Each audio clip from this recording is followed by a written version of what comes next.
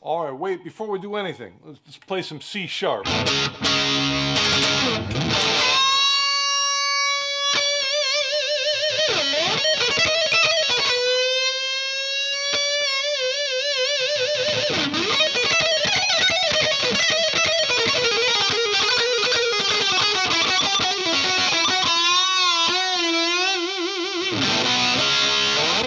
All right.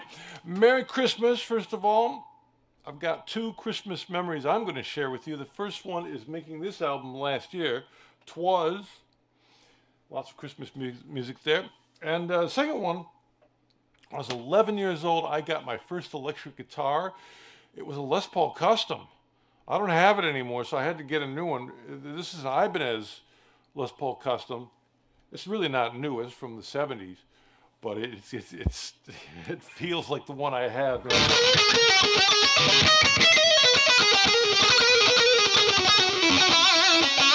I remember doing shows. I was like 14, and the the, the people in the audience would come up afterwards and go, like, "Dude, what were you?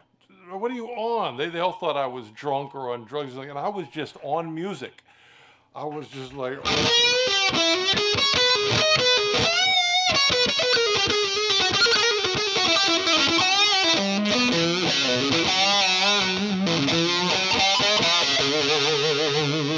and you know they that came from from playing.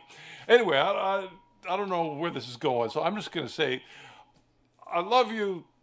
Everybody love each other. That's what this is all about. And Merry Christmas and uh, whatever it is makes you happy. Do that. Thank you very much. Rock and roll.